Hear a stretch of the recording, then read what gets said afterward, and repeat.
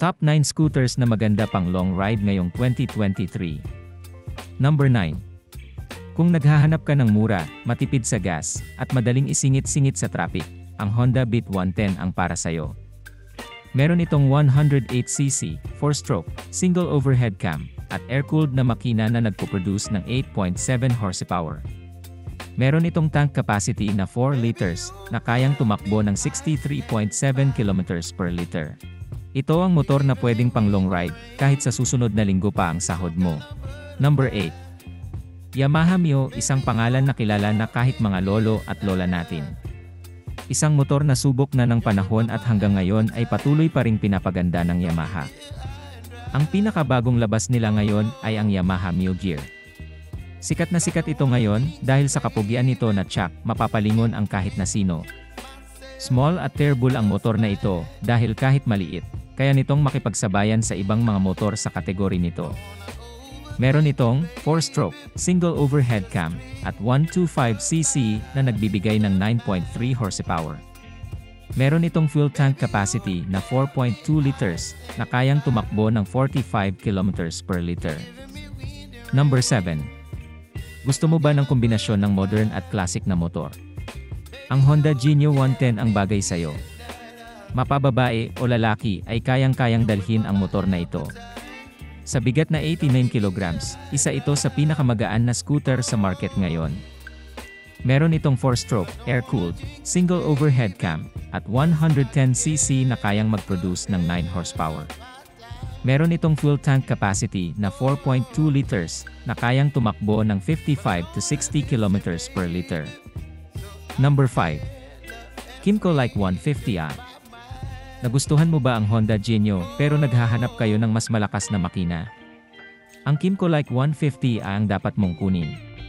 Meron itong 6.8 liters na tank capacity at fuel consumption na 50 km per liter na okay kung kayo ay mahilig bumiyahe sa malayong lugar. Meron itong 150cc, 4-stroke, single overhead cam, at air-cooled na makina na nagpo-produce ng 13.3 horsepower. Number 4. Yamaha A-Rox 155. Ito ang dapat sa'yo kung gusto mo ng mabilisang biyahe. Ang Yamaha Aerox ang isa sa mga pinakamabilis na scooter sa kategory nito. Dahil sa malalaking gulong nito at magandang handling. Isa ito sa mga scooter na magandang emaneho mapatuwid man o liko-likong daan. Ang makina nito ay 4-stroke, liquid-cooled, single overhead cam na may 155cc at 15 horsepower. Meron itong 5.5 liters na tank at 48.6 km per liter na fuel consumption. Malaki rin ang understorage nito na 24.5 liters na kasyang-kasya ang isang full-face helmet o mga bagahe mo kapag maglulong ride ka. Number 3. Yamaha NMAX 155. Kung ang hanap nyo ay relax riding position pero malakas pa rin ang makina kagaya ng Yamaha Aerox. Ang Yamaha NMAX ang fit para sa'yo. Kaya nitong tumakbo ng 115 km per hour at mas maganda ang riding comfort nito dahil sa smooth suspension nito at relaxed riding position.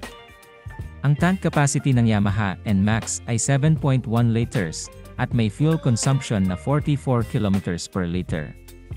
Ang makina naman nito ay 4-stroke, liquid-cooled, single overhead cam na may 155cc at 15.1 horsepower. At kagaya ng Aerox, meron itong malaking understorage na 23.3 liters. Number 2. Ang trip mo bang bahe ay may kasamang off-road?